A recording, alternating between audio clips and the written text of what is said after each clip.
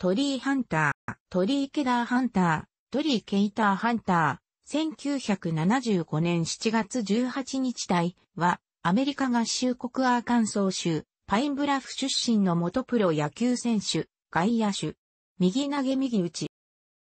電気技師の父親と小学校教師の母親の間に生まれた。高校時代から桁違いの身体能力の高さで野球以外にもアメリカンフットボール、バスケットボール、陸上競技でそれぞれ大活躍を見せた。アメリカンフットボールではオフェンスで強肩のクォーターバックとしてディフェンスでハードヒットが売りのフリーセーフティとしてプレーし、にはジュニアオリンピック全米代表に選ばれたが、家が経済的に厳しい状態であったため参加者、負担金の500ドルが払えず、当時アーカンソー州知事であったビル・クリントンに手紙をいて、窮状を訴えたところ、すぐに500ドルの小切手を送ってくれたため、参加できたというエピソードがある。の、MLB ドラフト1巡目、全体20位で、ミネソタツインズから指名され、7月12日に契約。ドラフト前には、ペッパーダイン大学から奨学金付きのリクルーティングも受けていた。ルーキー級、ガルフコーストリーグツインズで28試合に出場し、8打点4盗塁、打率190だった。和 A 級フォートウェインウィザーズで91試合に出場し、10本塁打50打点8盗塁、打率293だった。和 A 級フォートマイヤーズミラクルで113試合に出場し、7本塁打36打点7盗塁、打率246だった。YA 級フォートマイヤーズと AA 級ハードウェアシティロックキャッツでプレー。AA 級では99試合に出場し、7本塁打33打点7盗塁、打率263だった。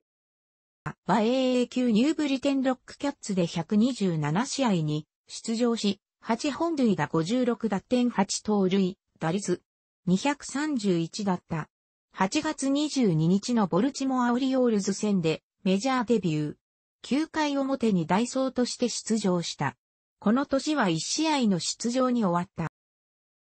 は4月29日にメジャーに昇格し、5月1日のオリオールズ戦でメジャー初安打を放った。5月12日に再びマイナーに降格し、その後メジャー昇格はならなかった。この年は6試合に出場し、2打点、打率235だった。は、開幕から正中堅手として起用され、自己最多の135試合に出場し、9本塁打35打点10盗塁、打率255だった。292回の守備機会のうち失策はわずか一つだった。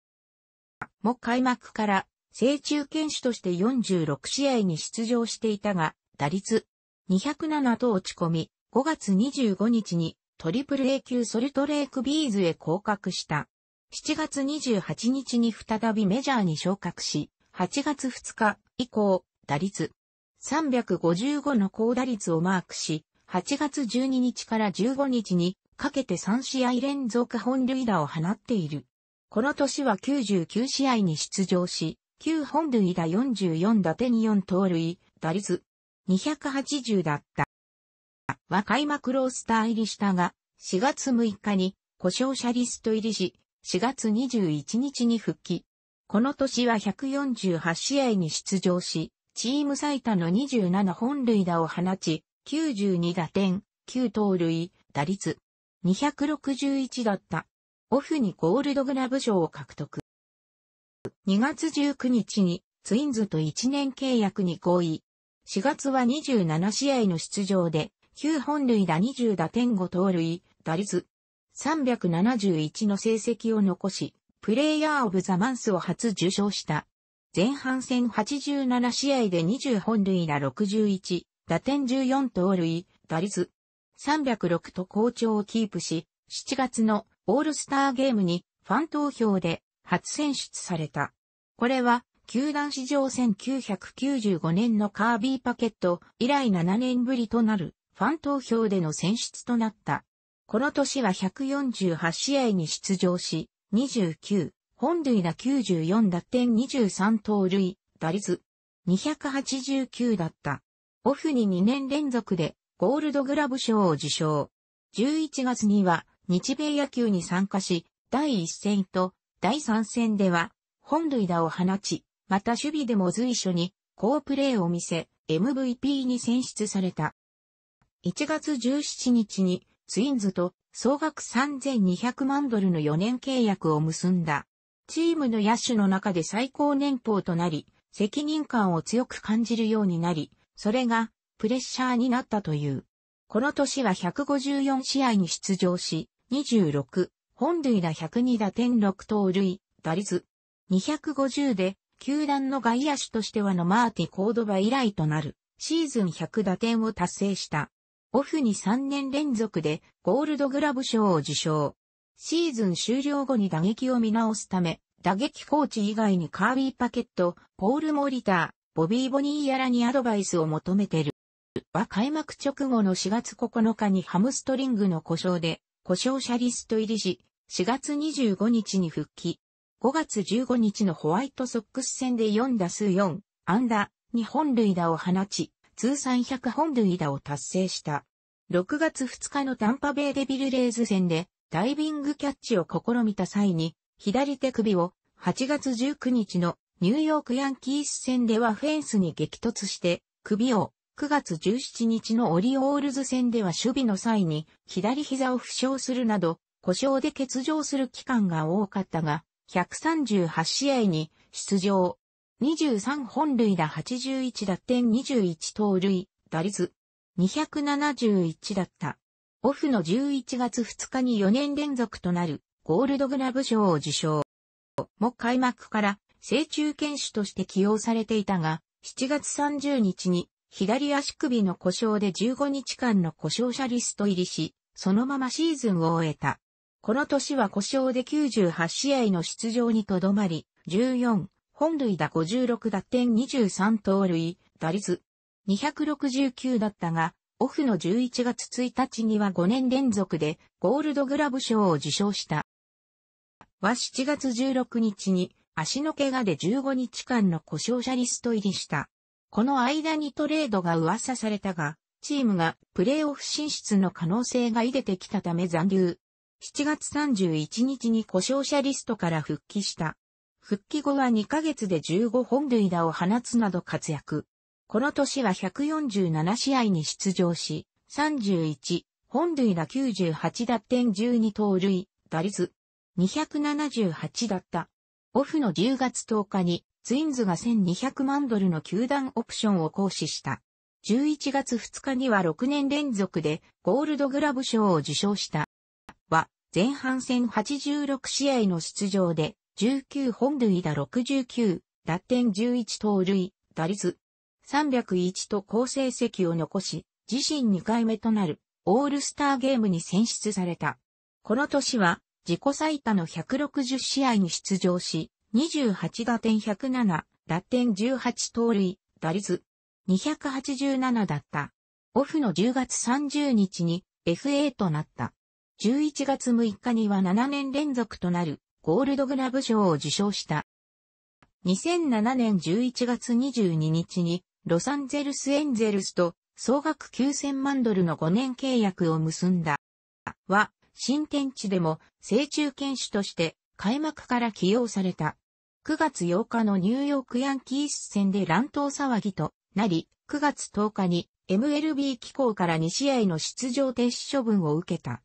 この年は146試合に出場し、21、本塁打78打点19盗塁、打率278だった。オフの11月6日に8年連続でゴールドグラブ賞を受賞した。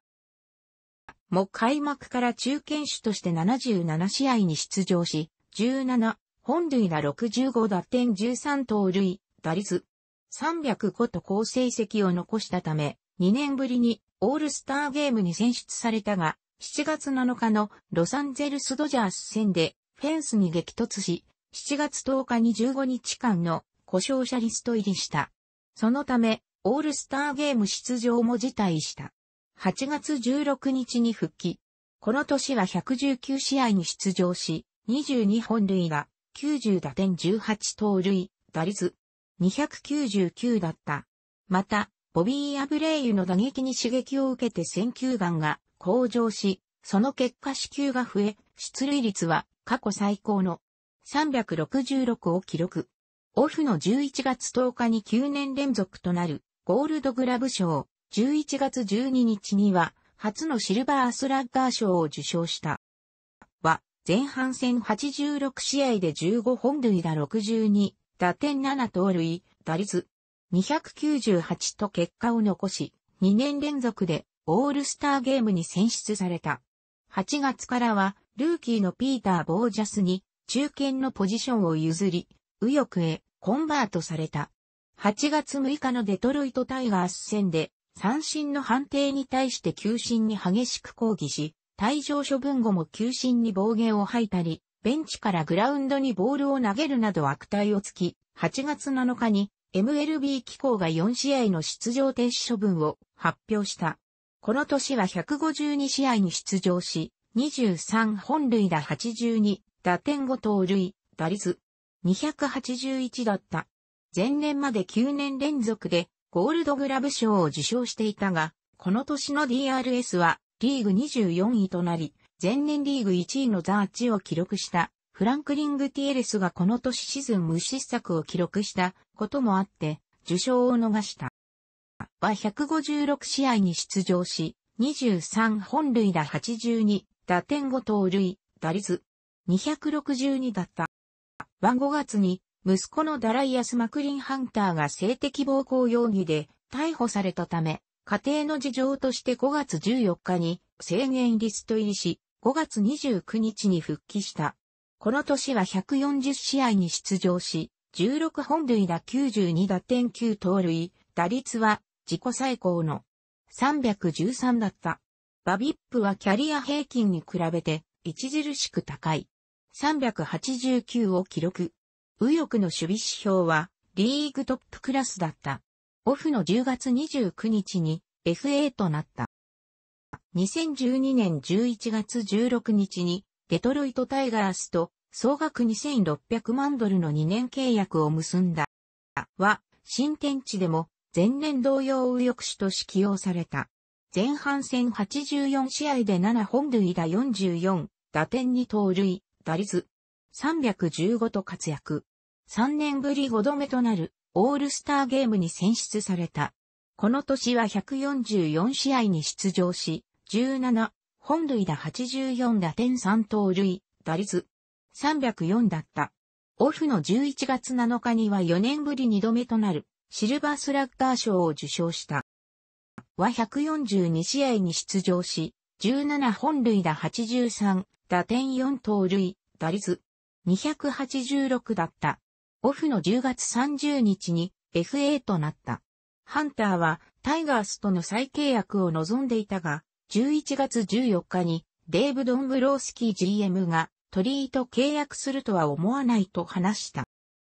2014年12月2日にフルスのツインズと1050万ドルの1年契約を結んだ。は8年ぶりにツインズの選手として139試合に出場し、22本塁打81打点に盗塁、打率240という結果を残した。20本塁打以上は4年ぶり、80打点以上は7年連続の記録である。また、この年は通算350本塁打も達成した。6月10日のカンザスシティロイヤルズでは、ストライクの判定に激行し、退場となった。その際、ジャージなどをグラウンドに脱げ捨て、後日、2試合の出場停止処分を受けた。また、ホームゲームでの勝利後に、クラブハウスでダンスパーティーを開催するなど、チームの盛り上げ役としても一役買った。2015年10月26日に現役引退を表明した。スイングが大きいため打席から一塁までのスピードは4.4秒と平均を下回るが、バットスピードが速く、腕を伸ばしてボールを捉えることを好み、センター方向の打球がよく伸びる。守備の名手として知られ、2001年から2009年までに9年連続でゴールドグラブ賞を受賞した。2002年のオールスターゲームでバリー・ボンズの放った本塁打製の打球をジャンプしてもぎったプレーが注目を浴びて、以来、本塁打になりそうな打球をジャンプで補給するプレーが代名詞となり、そこからホームランハンターのニックネームが付けられている。同じく外野手をポジションとし、2001年から10年連続でゴールドグラブ賞を受賞しているイチローとは互いに意識し合っている。一方で、2006年からはザーがマイナスに転落するなど、セーバーマトリックスの視点からは守備力の落ち込みが顕著になっており、ゴールドグラブ賞の受賞に疑問を呈する声も上がっていい。2010年にはつい入浴手にコンバートされ、ゴールドグラブ賞の受賞も途切れた。ファンを大切にし、面倒見が良く、チームメイトからも人気がある。ユーモアのセンスがあり、コメントを嫌がらないので、メディアの受けもいい。また、社会貢献に熱心である。恵まれない家庭の奨学金の付与や、球場の建設、前立腺がん患者への支援も行っている。アフリカ系アメリカ人の野球人口が減少していることに危機感を覚えており、1975年には27%に達していたが、2006年にはわずか8%まで低下したと6月2日付のアメリカ有力紙 USA Today は Where are Black Ball Players? という記事で特集を組んでいる。2009年時点では10.2%。トリーハンタープロジェクトと称する黒人野球選手振興プログラムを行っている。同プログラムでは他のアフリカ系のプレイヤーに呼びかけて寄付金を募り、それをメジャーリーグ機構が行う振興プログラムとは全く別に4都市のリトルリーグチームをサポートするというものである。このプログラムには元チームメイトのシャノン・スチュワート、通算500本塁打を記録しているゲイリー・シェフィールド、元シアトルマリナーズのカール・エバレ、